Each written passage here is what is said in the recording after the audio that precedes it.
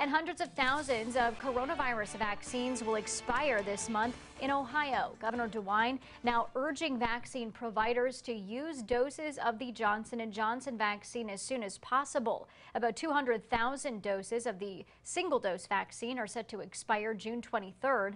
Ohio is also unable to send those doses to other states or countries.